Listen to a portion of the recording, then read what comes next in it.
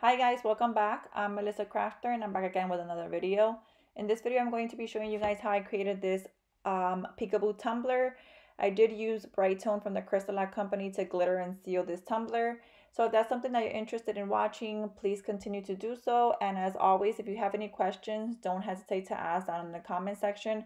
Also, if you have any video suggestions that you want me to make, um, also drop those down in the comments. And don't forget that I am now uploading a video every Thursday. So make sure you subscribe to my channel and stay tuned for that. Thank you.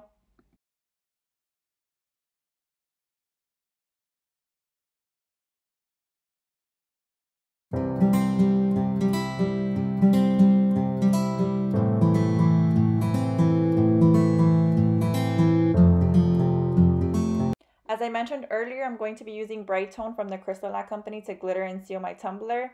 Brite Tone is an epoxy alternative and it is a water-based non-toxic top coat. Since it is non-toxic, um, you don't need any PPE to use it. Um, it's safe to use even indoors. You can purchase it at thecrystalacstore.com or I'll also link it down below for you guys if you guys are interested in checking it out. Brite Tone does have a 30 day cure time, but after 5 to 7 days, the cup is okay for light use, of course, following proper care instructions. If you are needing care instructions for cups that are sealed with Crystalac's Brite Tone, I can go ahead and put them down in the video description, or if you message me on Instagram, my Instagram name is melissacrafter00, I can go ahead and send you my ready to print care instruction cards um, if that's something that you're interested in. So to make this cup, I did use a stainless steel tumbler and then I did spray paint it using a Rust-Oleum spray paint. And the name of the spray paint that I used here is called Hunter Green. I'll go ahead and link everything that I used down in the video description, but I did use up spray paint and then I did allow it to off gas for 48 hours. I made sure to match my base coat color to the color of the glitter that I was going to be using um, as much as possible, as best as possible. Um, this was the closest that I had um, that matched my glitter. It's important to try to match your base coat color with your glitter. That way you will only need one coat of glitter.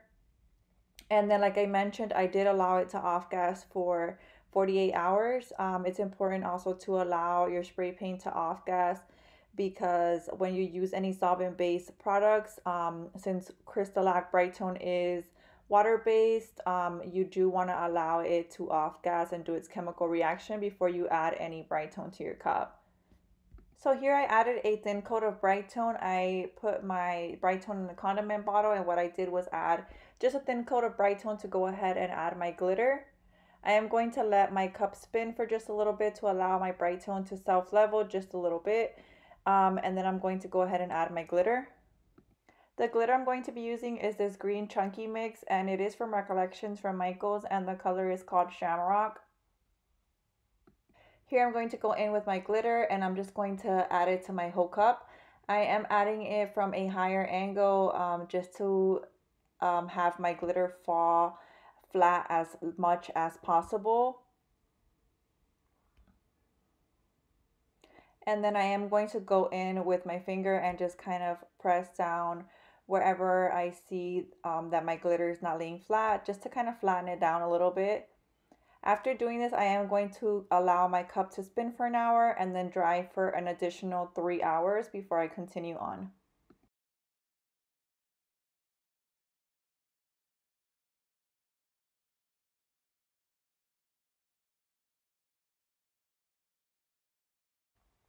Now that my cup has dried for four hours, I am going to go ahead and seal and flatten down my glitter using E6000 spray. As you can see, my glitter is laying down, um, mostly laying down flat on the cup, but I'm going to still go ahead and go in with the E6000 spray to kind of um, flatten it down a little bit more and also to seal my glitter. This helps with um, the overall coats that you are going to need to achieve a glossy cup. It helps flatten the glitter as much as possible that way you can achieve a glossier cup faster. I am going to go ahead and spray my cup with the E6000 and then I'm going to allow it to dry for 30 to 40 minutes.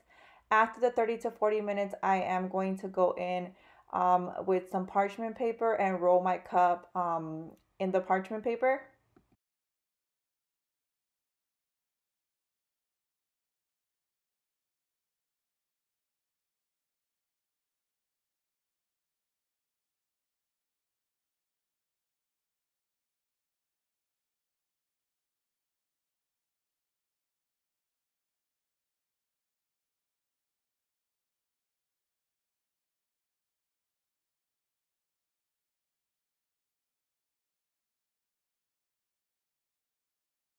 I filmed this part where I roll my cup in parchment paper, but somehow I got deleted off my camera. So I'm going to go ahead and insert a um, clip here from another video um, where I do this step of flattening down my glitter using the parchment paper, just so that you have an idea of how to do it. I do it in most of my most of my videos, so you guys probably have seen me do it before. But I'll insert a clip here that way um, it's kind of together with this video and that's kind of the process and then I do um, do this twice. Um, after I flatten down my glitter with the parchment paper I spray again and then I allow my cup to um, to dry for 30 to 40 minutes and then I go ahead and using parchment paper flatten down my glitter as much as I could and then I spray one last time after spraying that la one last time, I do allow my cup to dry for a couple hours just since I did spray the E6000 spray a couple times. Sometimes I even allow it to dry overnight just to be on the safe side. So now that my cup has completely dried, I'm going to go in with Brite Tone and begin coating my cup. This is my first coat of Brite Tone and I am going to continue coating until um, my cup is smooth enough for my decals. Every coat is added the same. You add just a thin coat of Brite Tone and allow your cup to spin for an hour and then dry for an additional three hours. I didn't film every coat that I gave my cup just because every coat is added the same and you guys probably don't want to see me doing the same thing over and over. Um, but I'm just going to continue um, coating my cup until my glitter is completely covered and my glitter is completely, um, my cup is completely smooth enough to where I can add my decals and continue on with the process of making this, this peekaboo tumbler. So here I'm adding my fifth coat of Brite Tone. I'm just going to continue coating my cup and covering my glitter up until my cup is smooth enough for my decals. You don't want to add any decals to your cup until your cup is completely smooth. If you do, then your um, decals will be bumpy from the glitter. You definitely don't want to add any decals to your cup until your cup is completely smooth. Um, here's my fifth coat of Brite Tone and my cup here is almost completely smooth. Um, but yeah, after this coat, I'm just going to allow my cup to spin for an hour and then dry for an additional three hours.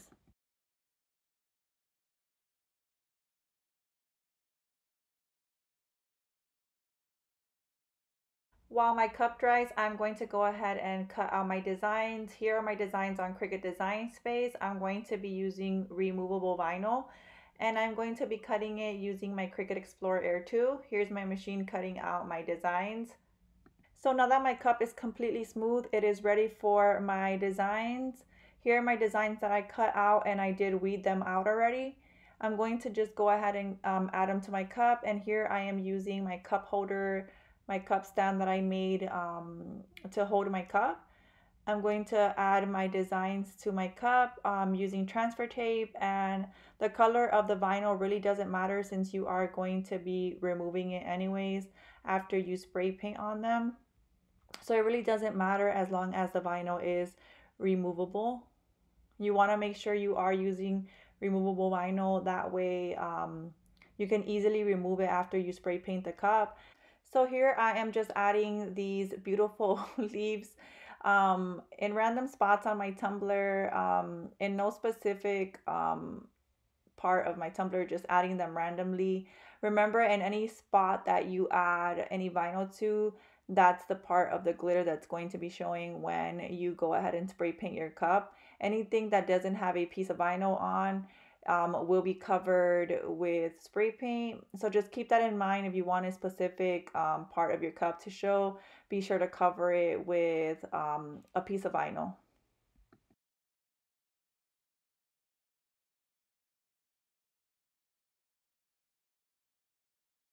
Immediately after adding my designs, I'm going to go ahead and take my cup outside and I'm going to spray paint it using um, Rust-Oleum spray paint.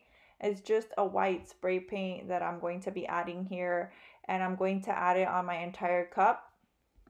I did spray paint my cup um, two times with spray paint. I added this first coat of spray paint, just a thin coat, and then I waited 20 minutes and added a second coat just to be sure that my cup was fully covered in the white spray paint. After my second coat of spray paint, I did wait another 20 minutes to just allow my spray paint to dry off a little bit. And then I'm going to go in with a candle and a fork and I am um, touching the, the, the candle flame with the fork and that creates um, some smoke that comes out of there. And doing that, I am going to go ahead and run my cup right on top of um, the candle to kind of transfer that smoke effect onto the cup.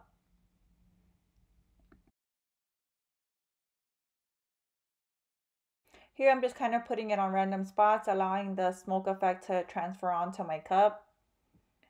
It would help if you would have a bigger candle. It'll create more of a smoke effect. I only had this candle, um, so it was kind of taking a little bit longer to create that smoke um, to come out and transfer onto my cup but it worked out um, at the end. Um, just kind of like I said, putting it in random spots, um, allowing it the smoke effect to kind of transfer on to my cup just in random spots.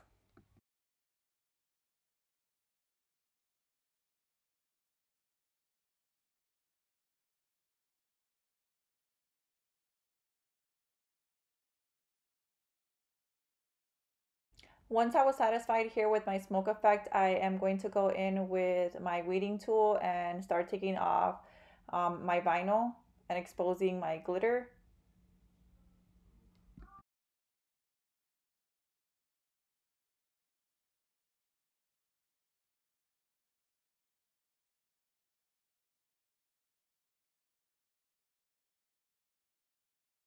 After I go ahead and add my smoke effect and then I remove my vinyl to expose my glitter, I'm going to go ahead and seal that smoke effect using clear gloss.